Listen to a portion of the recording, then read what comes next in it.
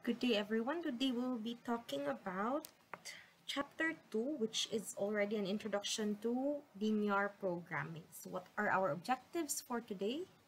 So, first, we will be talking about linear programming problem, how to formulate linear programs, how um, we will also be discussing a simple maximization problem and its graphical solution, about extreme points and optimal solution, about computer solutions, a also a simple minimization problem, and special cases.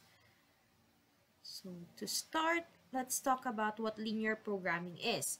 Linear programming has nothing to do with what we normally know with programming, which is computer programming, diba? So linear programming or the word programming here just means that you need to choose a specific course of action. So what you are doing or what you are computing would help you choose a, an alternative. So that's basically what programming in linear programming means. Therefore, LP involves choosing a course of action when the mathematical model of the problem contains only linear functions. Now, linear functions is not something new to you since you've already encountered it in your high school days, algebra palandaan, di ba? Mo na siya ang kasagaran na unang topics jud ang i-discuss about linear functions or yeah, linear functions in general, linear and and non-linear functions. So there lang is we'll be making use of linear functions to choose a specific course of action. Now, in a linear programming problem, it can either be two it can either be a maximization or a minimization problem. So, the maximization or minimization of some quantity is what is considered as the objective in all linear programmings. So again, the objective can either be maximization or minimization. So in the previous chapter, we've already talked about what the objective function is, diba? We've also encountered about maximization and minimization already since you've already tried creating a model now, all linear problems have constraints that limit the degree to which the objective can be pursued. We also have the concept of feasible solution, which satisfies all the problem's constraints. The optimal solution is the feasible solution that results in the largest possible objective function value when we are dealing with maximization and the smallest value when dealing with minimization. Now, a graphical solution method can be used to solve a linear program with two variables. In chapter 1, you've already encountered or you've already tried creating your um, model, di ba? Mathematical model. However, dito lang is we didn't focus on the solution na part. Ato alang na focus na to is you creating the objective function, you creating the constraints, di ba? As to the uh, identification of the feasible region and the optimal solution, sa previous na chapter, it was easier kay simple raman to. There was only one constraint or basically two constraints because of the non-negativity. But basically, one lang to siya. So, dali ra kaayo siya i-solve manually or mata-matahon ra siya. However, in reality, it, problems usually involve more than one constraint. So, if you've scanned through chapter 1 as well, Kata kung giingon ninyo nga problem niya, you can read on your own, di ba? It involves more than one constraint already. So, Karasiya, you can either make use of a graphical solution, which is what we'll be using this afternoon. Now, if both the objective function and the constraints are linear, then the problem is referred to as a linear programming function. So again, both objective and constraint functions should be linear. Now, linear functions are functions in which each variable appears in a separate term raised to the first power and is, and is multiplied by a constant which could be 0. If dili ganin sa first power, like for example, raised to the power of 2, dili na siya linear function. So naman siya, quadratic na siya. Diba? So again, linear functions ni mo raised to the power of 1 ra na siya. And then linear constraints are linear functions that are restricted to be less than or equal to, equal to, or greater than or equal to, to a specific constant. So, muna siya ang mga linear na functions or constraints. Now let's talk about problem formulation or modeling. This is the process of translating a verbal statement of a problem into a mathematical statement. Now, formulating models is an art that can only be mastered with practice and experience. Now, every LP problem has some unique features, but most problems also have common features. That is why we have a general guideline for LP model formulation that can be illustrated or will be shown in the next slides. So this is your guideline. First, of course, is you need to understand the problem thoroughly. You need to check for information that are relevant to your problem. Unsa nga mga data ang magamit o dili magamit? Ana? Unsa ang imuhang gipangita? Are you maximizing something or are you minimizing something, di ba? After which is you describe the objective of your problem. So I, again, it's either maximization or minimization. Next is you next is you describe each constraint. So you need to be careful in identifying your constraints so that you won't miss out anything because even if you miss out just one constraint, it would affect the whole problem already. So, maskin isa lang ka constraint imuhang malimtan, automatic wrong na gina imong makuha nga feasible solution. Next is you need to define your decision variables. Then write down the objective in terms of the decision variables and write down the constraints in terms of the decision variables. So, kani siyang uh, mga guidelines, you've already applied it in chapter 1. Di ba? So, have here a, or let's have a simple maximization problem. Our objective function is 5x sub 1 plus 7x sub 2. And we have the following regular constraints. And of course, you need to remember or you need to, yeah, you don't forget about the non-negativity constraints. Ano siyang non-negativity? Constant kita siya, nananay-nana, di ba? Now, if you would be graphing your constraints, wait, wait, let's copy this first so that you will not forget about it. Okay, so we have this problem again. Let's place a word kay para di na to siya malimutan later on. So, if you are to use the graphical solution, what you will be graphing first or what you will be graphing is the constraint functions first. So, makit ano nyo diri? on the left side or on the right side rather is the graph of the first constraint. So this one, first constraint, wherein x is lesser than or equal to 6. Now you need, when you are graphing, if you can remember how to graph linear functions, ang kaning mga symbols sa tunga, you would change it into equalities. And then the shaded region would be determined based on the direction. So for, for example, in this case, s uh, x sub 1 is equals to 6. So that is why vertical line ni mo because of course your x constant is equal to 6. Now, how is the shaded region here determined? Because of this one.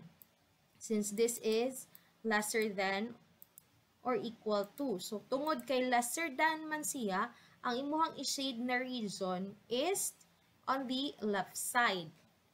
So meaning, the 6 already here, your x is equal to 6, is already the maximum value of your 6. So that is why, as you can see here at the right side, ang imuhang shaded region is from 0 to 6. Now, let's try to look at the graph of the second, second constraint. So in here, you have um, 2x sub 1 plus 3x sub 2 is equals to 19. So, what you'll be using here is your x and y intercept formula wherein your your first variable, if imong i-assume that your first variable is 0, so let's try to that. I-copy sa Okay, let's here. Wherein your first variable, if your first variable is 0, meaning your x sub 1 here imo na siyang i-change to 0. x sub 1 is 0. So, your 3x sub 2 would become your x sub 2 sorry your x sub 2 hindi dako siya. Na lang. Your x sub 2 kay mahimo na siyang let's change this. This equality. Your x sub 2 would then become wait, sa ano siya? Mahimo siyang 19 over 3 19 over 3. Oops, sorry.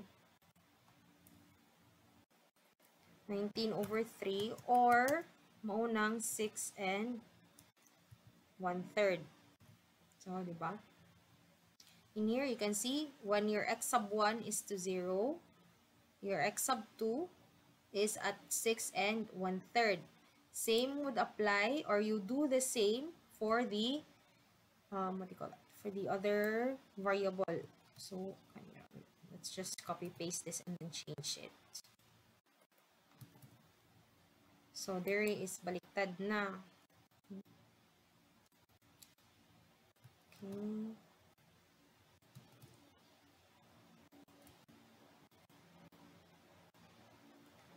Kanina.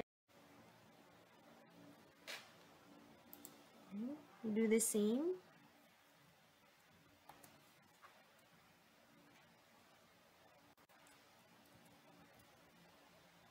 Your x sub 1 here will then become, that would be 19 over 2 or 9 and 1 half. Diba? So that is how you get your x and y coordinates or your x sub 1 and x sub 2 coordinates. You just make use of the x and y intercept method. Going back, as you can see here, the shaded region is again less than. So, meaning as into the left side of your line, mauna ang imuhang i-shade or on the left side of line, mauna ang imuhang i-shade as your visible region. So, all, when you talk about shaded region, it means all points in this shaded region is visible to that specific constraint.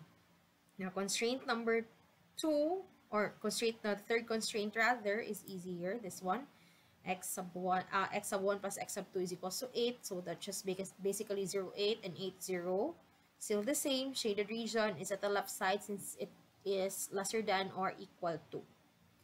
Now, for the non-negativity, of course, you don't need to, you don't need to, let's see, you don't need to graph it anymore, kaya na naman na siya dire, kaning 0, 0 dire na point, that's already your non-negativity. That is why in linear programming problems, you are dealing only, or you are working only in your quadrant 1. Since you are dealing with positive values, since again, you will be dealing with real-life problems, which ito nang discuss sa chapter 1. So, having graphed all your first, second, and third constraints, what you will be doing now is combining those graphs. So basically, ato lang ipakita diri is tagsa-tagsa, no? But if you combine all those lines or all those graphs, hindi plot, mo ni siya ang noun. Diba? So, ang mahitabuan na, you have here your katong first constraint. This one is your first constraint.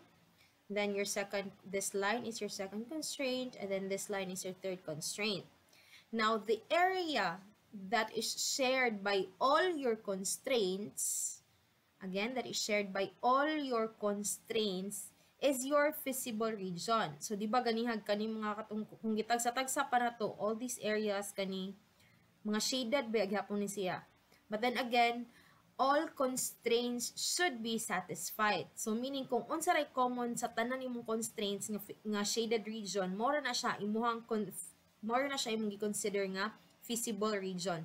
So in this case, the shaded area here is your feasible region for our problem.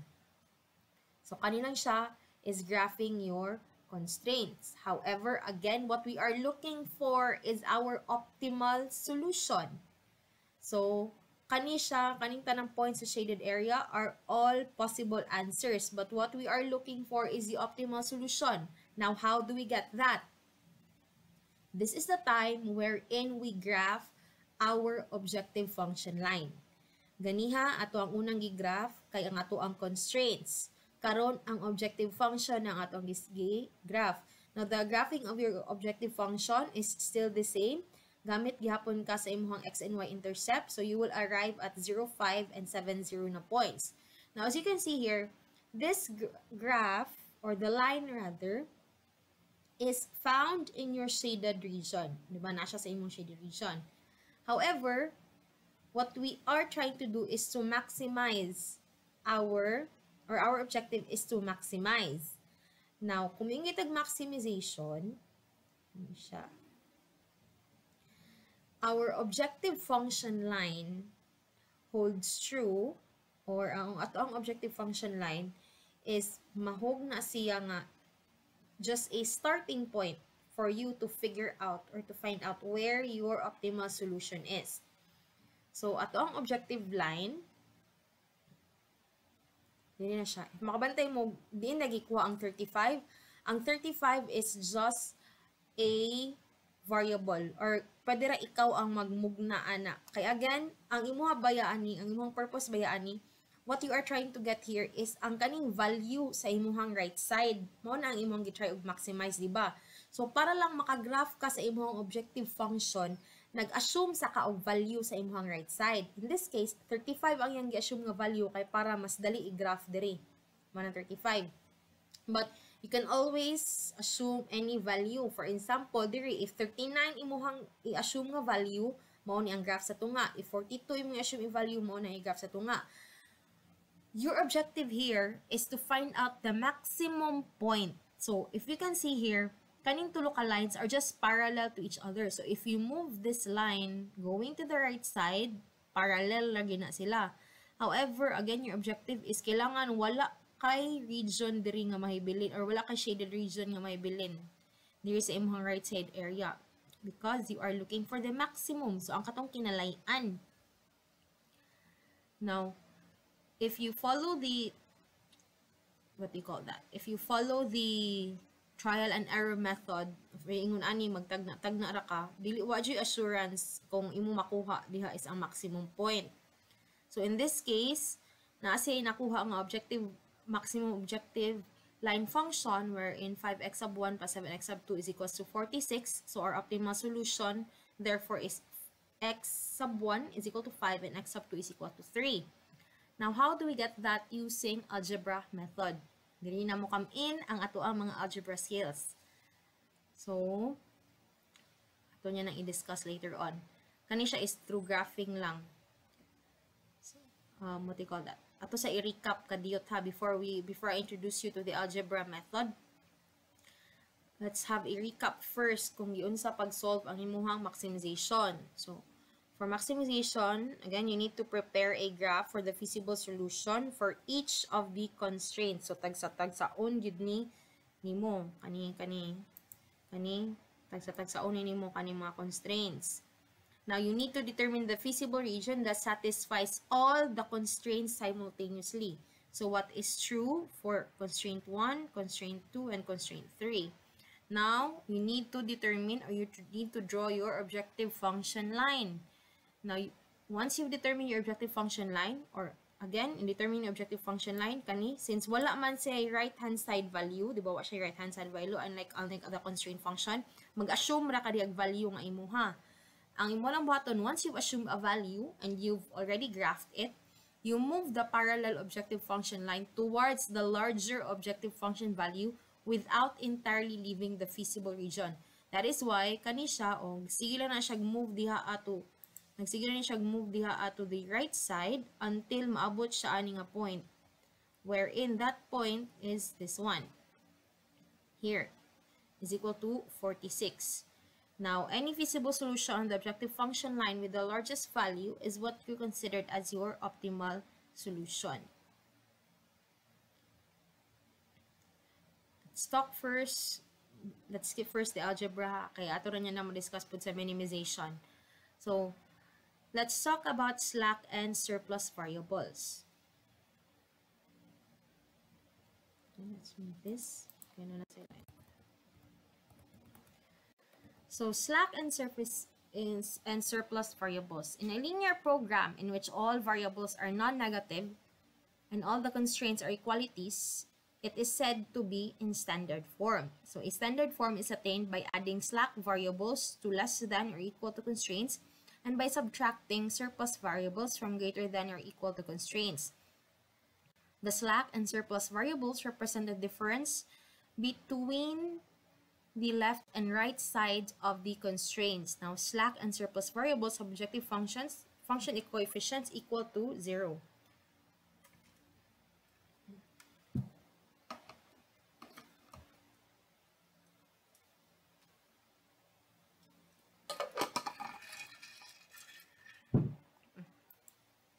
Back there first to this one. So as you can see here, on the left side was our original na our original na mathematical model, di ba? So our original na mathematical model. Now, on your right side, you can see here the standard form. And you can see, there are new variables found, or what you call your slack variables. That is your S sub 1, S sub 2, and S sub 3. So in here, your S sub 1 correlates to the slack on the first constraint. So x sub 1 plus s sub 1 is equals to 6. As you can see, or as you, the difference here is nahimo ng inequality ang imuhang, oh sorry, nahimo ng inequality ang imuhang values or ang imuhang symbol dire sa imuhang constraint function because of the existence of the slack. So, kung pangyayang ka standard form, ang imong mga values diri will be, or your symbols here would be equal, already, equal symbol already. Next, your second constraint has assigned the slack value of 2. Your third constraint has assigned a slack value of 3. So, kani siya, kada constraint nimo is lahi-lahi siya nga slack value. So, for example, if you have 10 constraints expected, ang katong ika-10th nimo nga constraint, S10 to ang plus atong sa kinlasan, plus or minus. So, ingon ana siya ang mahitabo. And then, of course, your non-negativity would now include your, oops, would now include your slack variables. So, later on, we will be appreciating, kasi pasabot anang slack, no, when you find your, op your optimal solution. So, in here, as you can see, your x sub 1 was equal to 6. Now, your slack value is equal to 1 nga naman. Take note or remember again, your optimal solution was x sub 1 is equals to 5 and x sub 2 is equals to 3. So, kung i-substitute nimo ang x sub 1 ari sa imuhang first constraint, 5 is equal to 6, dili ba siya mo hold true? So, di ba, balik ka dre. Your 5, oops, oh, ande. Your 5 plus your slack, ma-equal siya og 6. So, ang slack nimo nga value therefore is 1. So, yun na siya ang pasabot sa imong slack value. So, siya ang mo-equalize sa imuhang um, right-hand side value o left-hand side value. Now, for the second constraint, 2x sub 1 plus 3x sub 2, if i-substitute ninyo ang imong optimal solution, you would arrive at 19. So, meaning wala kay slack value or 0 ang imuhang S2 nga value. For S3 value, still the same, 5 plus 3 is equals to 8. So, your slack 3 value is 0 as well. So, ina na ang pasabot sa imuhang slack. So, again, pwede siya plus or minus. It depends kung sa imong value sa imong right-hand side. Now, let's talk about extreme points and optimal solution. The corners or vertices of your feasible region are referred to as your extreme points. An optimal solution to a linear program or linear programming problem can be found at an extreme point of the feasible region. Now, when looking for the optimal solution, you do not have to evaluate all feasible solution points. You only have to consider the extreme points of the feasible region. Unsay pasabot. Ra. If you can remember sa tong problem ganiya, first problem, this one, the problem at your left side, its feasible region is identified by this area. You have your point 1, 0, 0, point 5, 4, 3, and 2. So these are your extreme points. Now, only one of these points would satisfy your optimal solution. However, that's not always the case. Mala, most of the time, one of these points, points would satisfy your solution. So, giunsa ni pagkuha ang kaning imuhang mga optimal or giunsa ni pagkuha imuhang extreme points. Ato niya nang i-discuss later on. Now,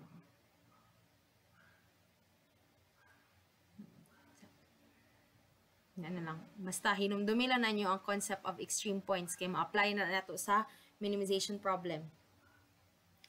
Now, let's talk about computer solutions. Computer solutions, we'll just have a run through because we are not a lab subject. Wala man tani nga mga computer programs, no? However, LP problems that involves large amounts of variables already or constraints can be solved using a computer package. So, pwede ka mo gamit og Microsoft Excel or if you have commercial packages like CPLEX, Lingo, MOSEC, Express MP, and Premium Solver for Excel, you can make use of that to compute for linear programming problems. Kana siya. Pero that applies if you are already dealing with thousands of variables and thousands of constraints. Now, kanilang is, what we will be discussing or what I will be showing you is how you will interpret your computer output. So, in your quizzes or activities niya later on, or kana makita ninyo sa inyong e-book, you are given the computer solution. So, at least kabaw mo sa computer solution na output asa pangitao ng objective function, ang pasabot sa values of the decision variables, asa makita ng reduced cost, slack, and so on and so forth. Now, in the next chapter, chapter 3, i-discuss niyo na to ang coefficient of the objective function and the right-hand side value of the constraints. So, kay ko naman to siya, sensitivity analysis. So, this is an example of a partial spreadsheet showing the problem data. Kani siya ganiha is same gihapon ni sa atong problem sa right side ha, ay sa left side rather. So you have your constraint number 1, your variables sa taas x sub 1 and x sub 2, and then ang iyahang mga constants, 'di ba? So what do you call this? So your x sub 1 is a value of 1, and then ang x sub 2 is of course 0. RHS value means right-hand side. RHS means right-hand side. So, kani 6, 19, and 8. Your constraint number 2 has the 2x sub 1 and then 3x sub 2, RH val R RHS value of 19, and so on and so forth. Excuse me. And then there is your also your objective function. Muna siya 5 and 7. Now, if you are to solve that problem, or you will be shown with this computer solution. Automatic na niha nga sa sa Excel ni mo, mo solve na ni siya diretsyo. Pero di na ako ipakita. Kaya again, di man talab. So, kanilang makita ni mo diri nga maghatag na siya diretso sa imuhang optimal decision variable which is 5 and 3. Now, as you can remember, 5 and 3 was your optimal or points sa imuhang optimal solution, di ba? Muna siya 5 and 3. And then you can also find your maximized objective function, meaning ang right-hand side value sa imuhang objective function ihatag na pud niya automatically. Kana siya. Aside from that, you can also see the um, difference between the amount used and your RHS limit. So, dire makita ni mga 5, 19, and so on. And then with that, mahibawan ni mo ang imuhang mga slack value. So, diri makitaan man nimo 5 ang na-use, na kay RHS nga 6. So, meaning na kay slack nga 1, and so on and so forth. So, inana siya. Okay. Now, let's talk about reduce costs. Reduce costs for a decision variable who is whose value of 0 is the optimal solution. So the, um, the optimal solution is the amount the variable's objective function coefficient would have to improve, increase, or maxima, increase for maximization problems and decrease for minimization problems before this variable could assume a positive value. So the reduced cost for a decision variable whose value is lesser than or greater than 0 in the optimal solution is 0. So, ani, ma-appreciate ninyo sa duwa um, sa next chapter sensitivity analysis kay mas makita man didto no ang impact sa imong reduced cost unsay pasabot sa imong reduced cost. So diri lang inyong hinumduman is ang reduced cost gyud sa imong optimal solution would be zero. If dili gani na siya zero meaning dili na siya imong optimal solution inana na na siya. And then you have your objective coefficient your allowable increase and decrease which you will later appreciate sa imuhang um, what do you call that? Next chapter, sensitivity analysis. Same here. Then shadow price is also in the next chapter. Mo imong dual value. So kana siya. Muna siya ang sa imong spreadsheet solution. So, sa activities is makakita ra niya mo ingon ani. Inani ra niya ang ihatag sa inyo and then you will be asked what is the maximum or what is the um, what is the coordinates for the optimal solution? So, of course, the answer is 5 and 3. Diba?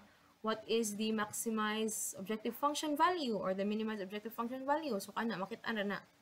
Unsa ang imong final value sa imong mga constraints, pila ang slack, and so on and so forth. So, kana, makita na nimo tanan sa computer solution. Now, let's move on to a minimization problem. Diri po nato i-show niya ang um, algebra nga method sa pagkuha sa imuhang objective or pagkuha sa imuhang optimal solution or katong imuhang mga extreme points. So let me copy the problem first. Okay, so we have here a minimization problem. So minimize 5x sub 1 plus 2x sub 2 and then you have your following constraints. So ako lang naara sa imong left side no as guide. Now again, what we need to do first is to graph our constraints. So let's start with the first constraint using the x and y intercept method. When your x sub 1 is equals to 0, then your x sub 2 would be equal to 2. Atong na butang din sa atong ang So in here, ako na lang yan ha. Your x sub 1 is, when your x sub 1 is equals to 0, your x sub 2 is equal to, your x sub 2 is equal to 2. And then your other graph is your, when your x sub 2 is equals to 0, your x sub 1 is equals to 5.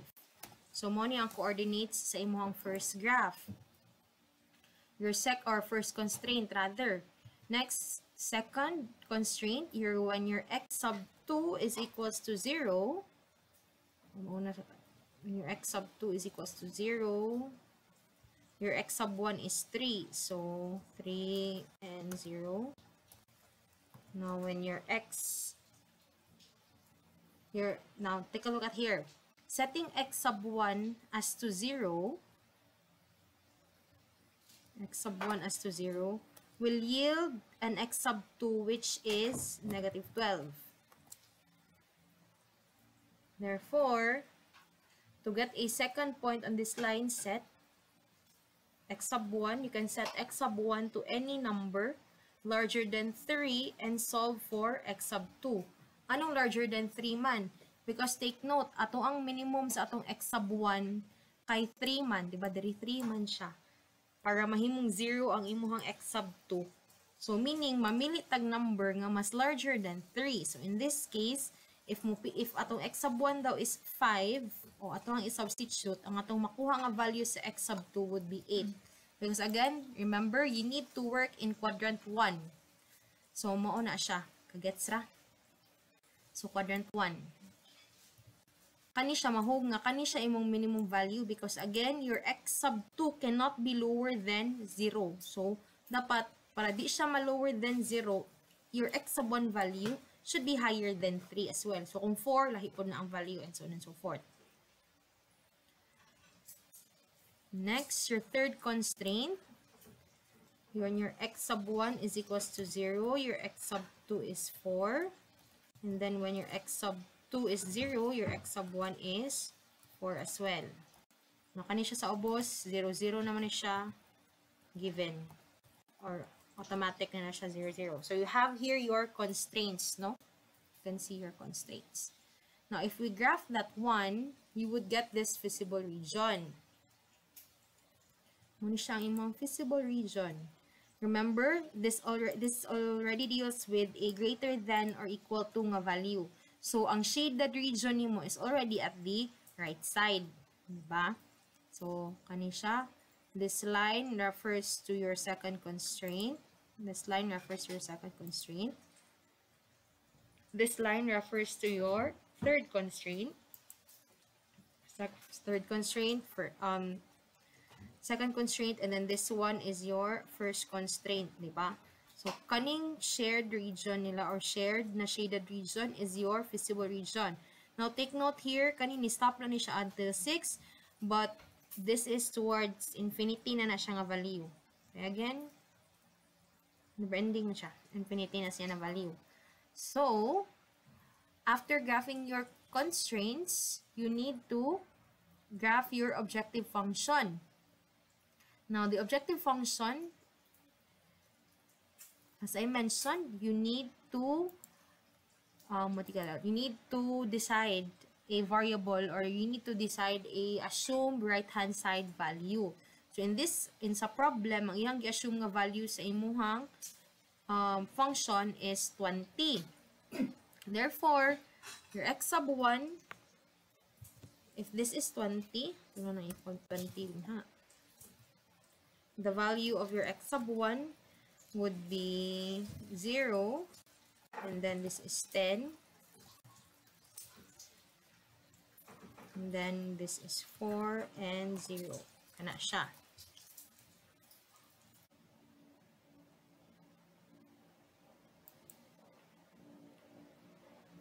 Now, after determining all your coordinates already, uh, next you need to find the feasible or the optimal solution.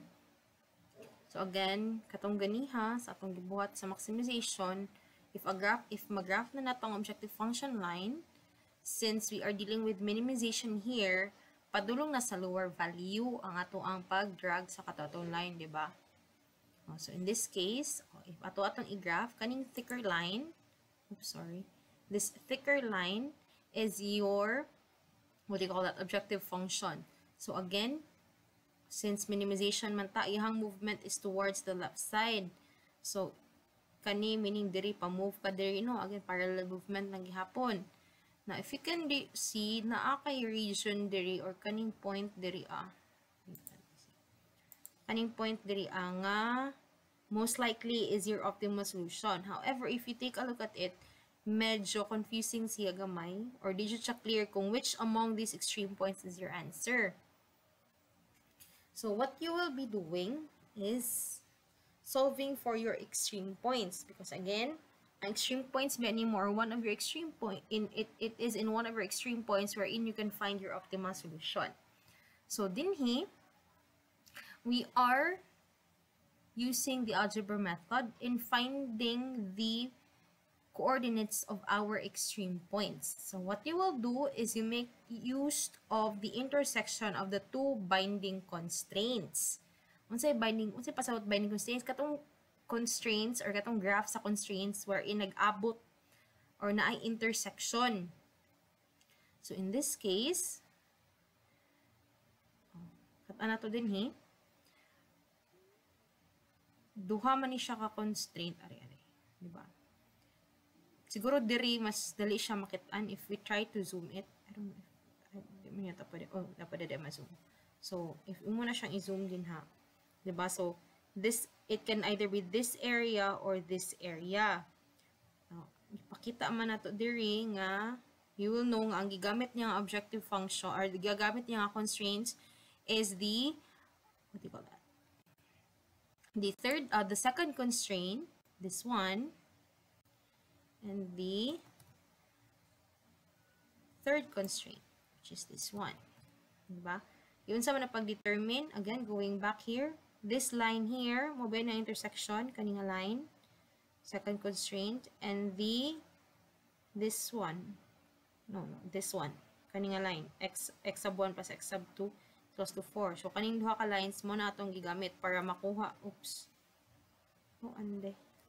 Para makuha nini mo. Diba? Kani man na points ang atong gi, gi kani man nga point ang atong gipangita. So, kani intersection. If kani pud isa, you make use of the second and the first, uh, the sec, the first and the third nga constraint. If kaning, if kaning sa ubos imuhang gipangita. But if kaning sa babaw, oh, mo na siya ang second, oh, mo na siya ang third o second. Now, if atoa daw siyang isolve, adding these two equations, you will get the value of 16 over 5. So, let's try to solve kung giusan na pagkuha ang 16 over 5, no? At ini i-copy B. So, let's go back to our algebra. Refresh ta sa atong algebra class. How do you add two linear functions? Diba? You can you make use of the process of substitution and elimination. Diba? So, very first is mag sama ka mag-eliminate sa ka. So, unsa man ang imong gana eliminate? You eliminate one variable or you need to figure out, you need to find the value of one variable first. So, we, so in order to do that, you need to eliminate one variable. So, in this case, magpili ka kung x sub 1 ba or x sub 2 ang imuhang kuhaon. Now, if you try to take out your x sub, let's say, ah, diri ay, mas easier man na diri kay opposite sides naman ang imuhang, opposite signs naman ang imong x sub 2, duha. So, kani imuhang x sub 2, ako lang na siyang i-red. Um, let's try. Let's insert na lang, ah. Let's insert a line. Oh. Kani siya is, imuhang ba ni siyang i-add. Let's make it thicker.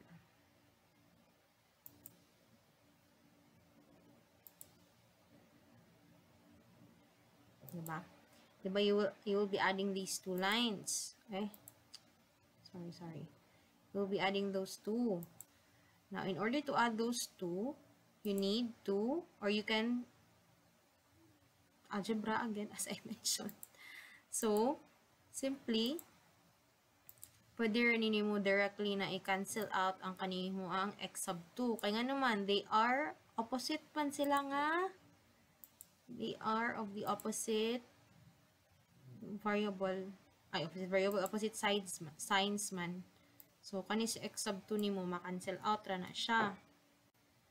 So, what you are left with is 5x sub 1 let's make that sub 1 and then this would be oops sorry. This would be equals to 16 yan naman 12 plus 4 is equals to 16 that is why your x sub 1 is equal to 16 over 5 is equal to 16 over 5 oops sorry siya. Managyon sa napag-arrive ang 16 over 5.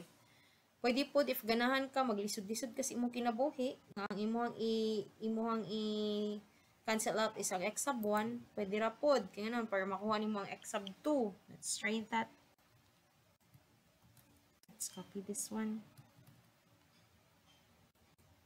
So, there what we are trying to cancel out is your x sub 2. So, para ma-cancel out ang imuhang x sub 2, or no, x sub 2, your x sub 1, you need to multiply the second one, the second formula, this one, you need to multiply the second formula with negative 4. Ngano negative 4 man?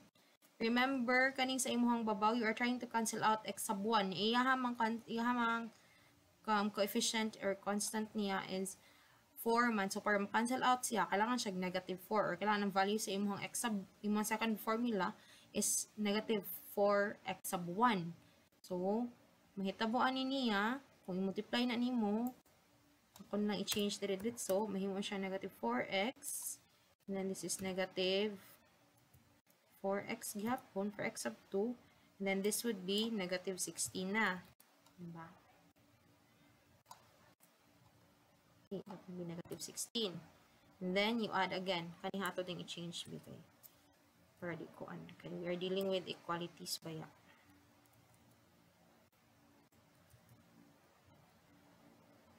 Okay.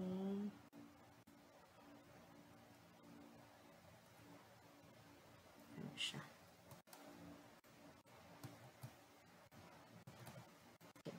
So, after that is kani, pwede na natong i-cancel out ang ato ang 4x sub 1. Okay. Cancel out na na siya. So, that would be 0. And then, this one, ang remaining ano niya would be negative 5x sub 2. Mm-hmm. Sub 2.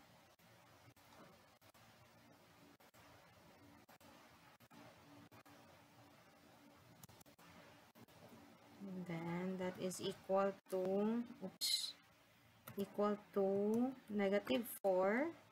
So, therefore, you have a value of x sub 2 ish. Kanina natin copy x sub 2 is 4 over 5 ah, see so kani siya is using both the elimination method pero if pwede ra na if makuha na gani mo ang isa ka value sa isa ka variable you will just substitute it So, para sa ani sa inyong right side, you substitute the formula either in the first or the second, you would still arrive at 4 over 5. So, kana siya. Muna siya imuhang um, optimal value of the objective function, 4 over 5. So, if you substitute it to your objective function, you would get the objective value or optimal value of 88 over 5. Now, let's try to, on this one, optimal solution, 88 over 5 or 17.6. Now, let's try to solve or let's try to verify if kana bagid ang atong optimal solution. Nganong dili kaning isa, di ba? If you take a look at if ato aning i-zoom diri na area, di ba? There is a possibility man pod nga kani siya maoy imuhang optimal solution. So let's try to solve daw if kana ang ato ang kuan og optimal value or kana tong kuan og value.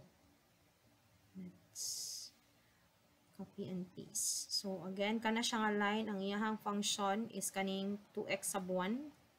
This one. Let's copy this. Let's move to the next slide. And then, the second is kani. Sub 1. Kani siya. Diba mo ni siya ang duha. Okay. So. And then you do the same process. Magkapi-kapi na lang ako sa You do the same process of finding for the or elimination and substitution.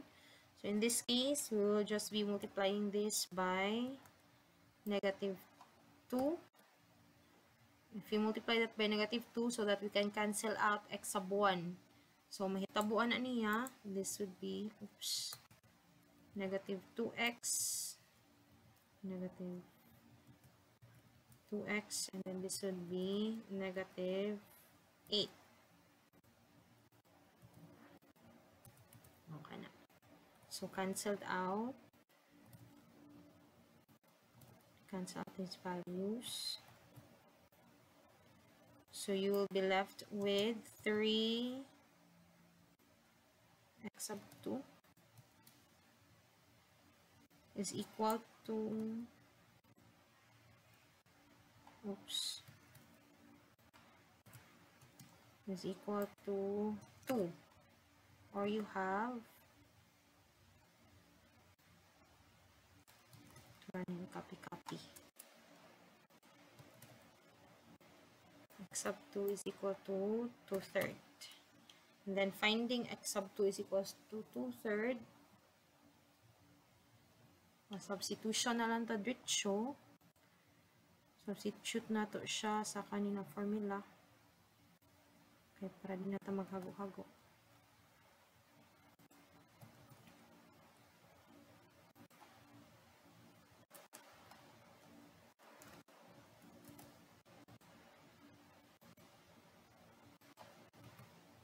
So, your x sub 1. Kapo yan, ini sub-sub eh.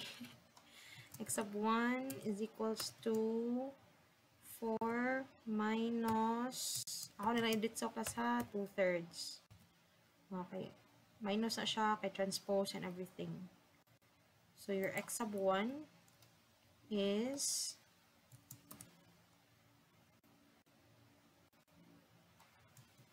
um, what do you call that? 3 and oops, 1 third.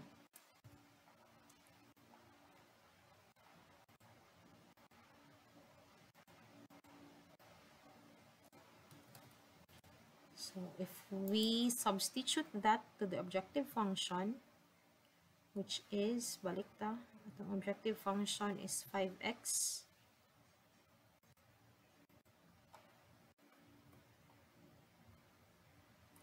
See that I need scroll up, scroll up.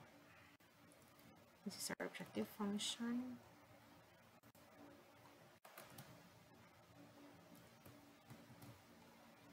5x sub 1 is 3 and 1 third. Oops.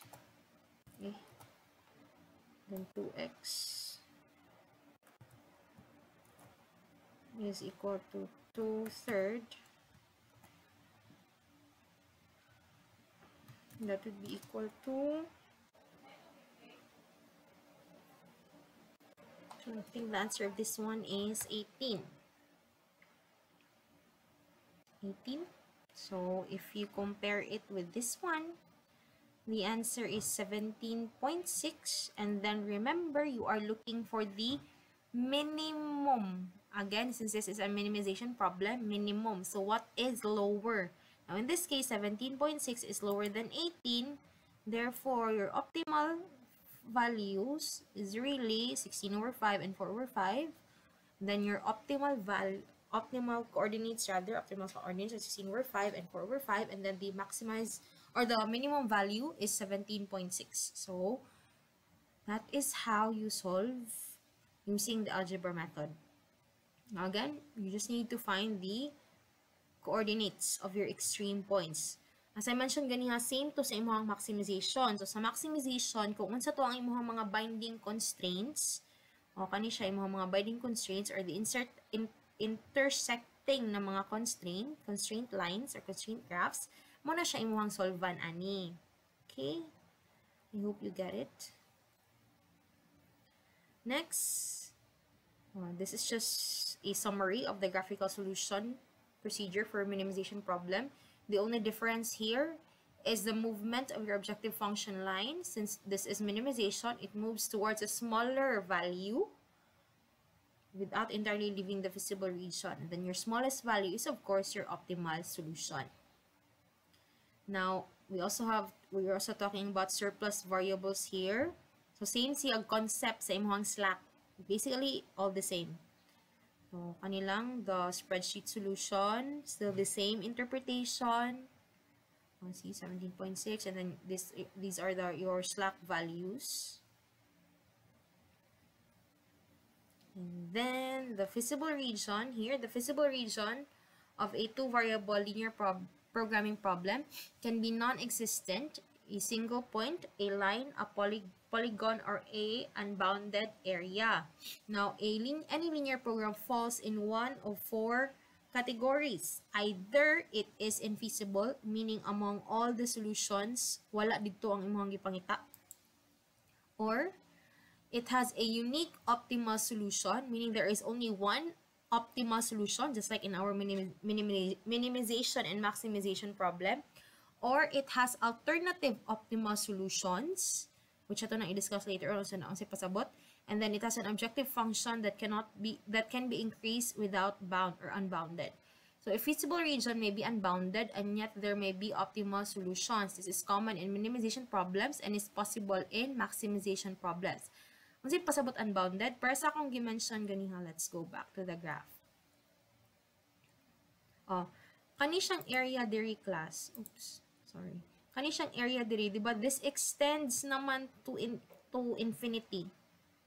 Again, this area here, kani siya, kani na-stop na ni siya until 6, but in reality, this extends to infinity. Mo na siyang unbounded. Mo na siya pasabot sa unbounded. So, it is common in minimization problems.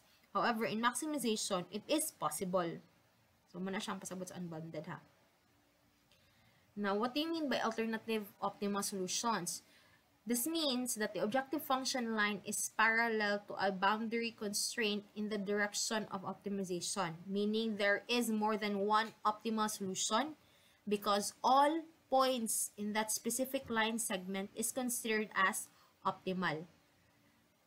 So, let's have a sample problem. Uh, this is a given problem. Di natin i-discuss in detail ha, the concept lang of opti optimal solution.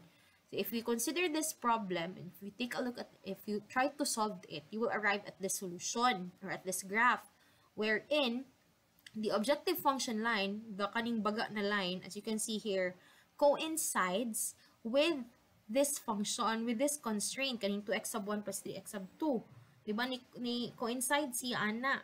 Meaning, all lines derive from your point A, segment A to B, is considered as your optimal solution. Yan naman kay, again, as I mentioned, ni coincide man siya sa imong constraint na function na line. So, kana siya, from points A to B, kani siya mo na siya considered as optimal solution. Now, when you talk about infeasibility, meaning there is no solution to your LP problem that satisfies all constraints, including the non-negativity constraints.